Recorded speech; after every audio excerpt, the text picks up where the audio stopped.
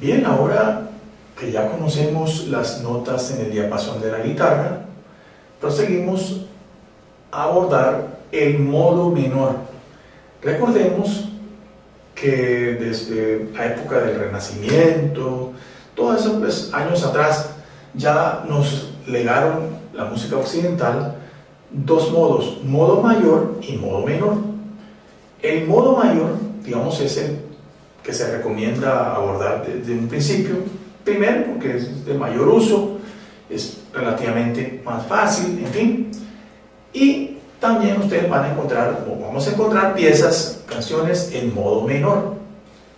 Bueno, pues algunos dirán que es un tantico un poco más difícil, pero nos vamos a dar cuenta que no. Todo es cuestión de práctica, de conocer. Entonces, yo les había dicho que desde el siglo XVII, cuando empezó la armonía, esta funcional tonal, hay como unos grados, ¿no? Usted puede enlazar cualquier tipo de acorde en la armonía, pero digamos, eh, en términos pedagógicos se recomienda llevar un orden por grado de dificultad de menos a más. Entonces, aquí hay una progresión armónica que es primer grado, estamos en modo menor, quinto grado, vamos a utilizar la escala menor, la escala armónica, pero por ahora, pues se lo menciono, pero por ahora no les voy a explicar eso, eso es un poquito más complejo. Entonces, el quinto grado en modo menor, por ahora, vamos a hacerlo mayor, pero con una séptima menor, como si fuese el mayor el que vimos pero el cuarto grado va a ser menor. Cuando estemos en modo menor, el cuarto grado es menor. Recordemos que en el modo mayor, cuando lo vimos, el mayor era mayor, el quinto era este mismo mayor con séptima menor y el cuarto era mayor, en modo mayor. Pero, como estamos en modo menor, vamos a seguir este orden.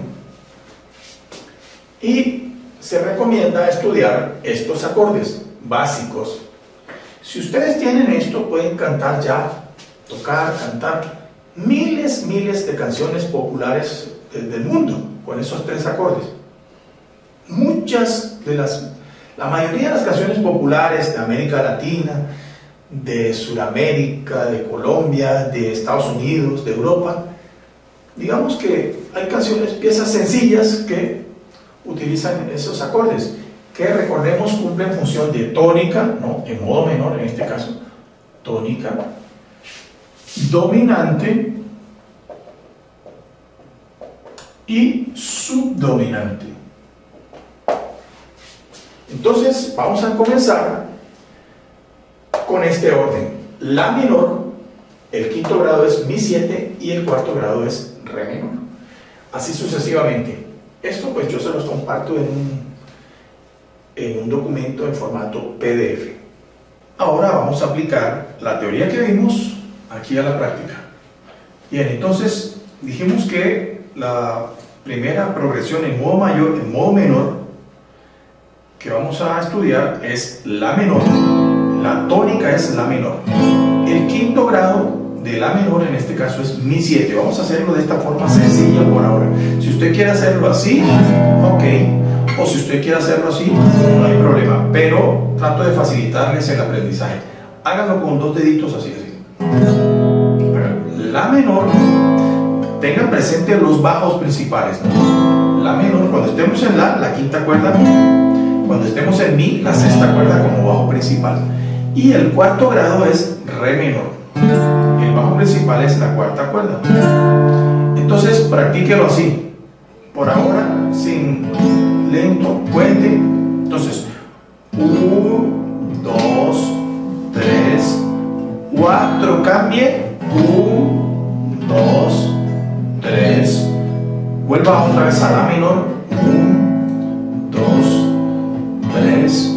Ahora vamos al cuarto grado. 1, 2, 4, vuelva a 1, 2, 3, 4, vamos al 5, 1, 2, 3, 4 y 5, Bien, ahora, si usted puede tocar aquí, pues entonces repase, repase lento los cambios, ¿no? Los cambios acá, luego cambie, ¿no?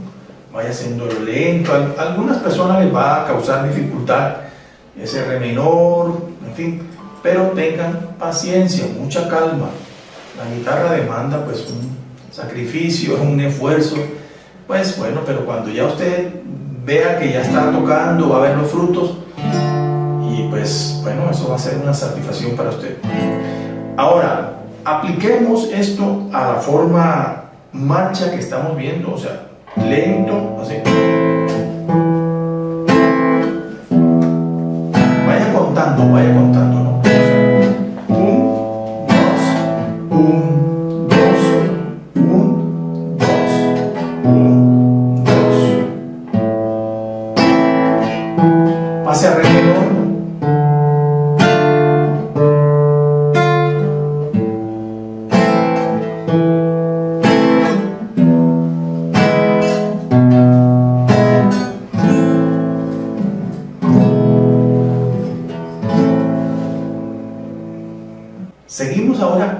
Re menor.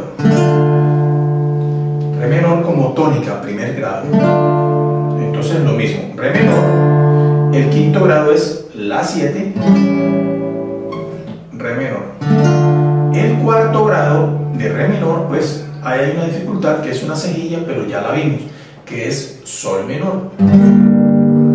Entonces, tranquilos, no se preocupen, todos pasamos por ahí, todo en el, en el, mundo, todos los guitarristas en el mundo pasaron por esta dificultad, pero eso se supera pues es practicando. Entonces tengan calma, tengan mucha paciencia.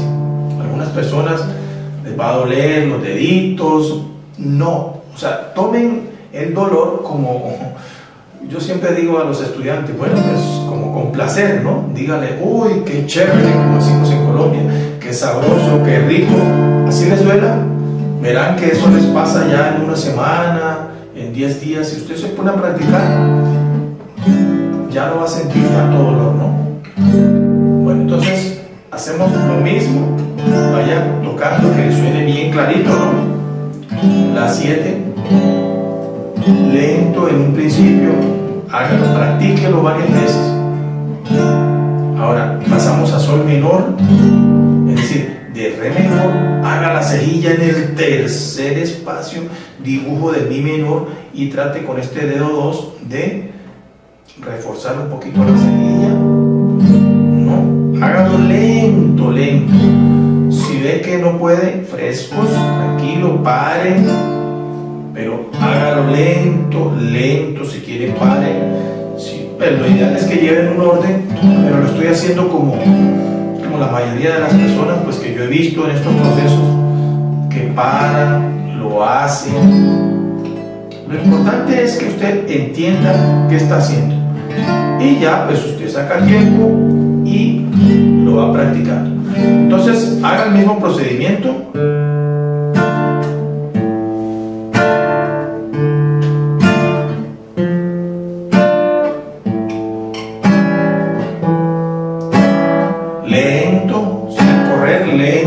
Hacer lento. Vamos a sol menor. Lento, sin correr. Lento. Lo importante es que usted también se va adiestrando a reconocer armónicamente esta progresión en modo menor su orejita ya va identificando eso.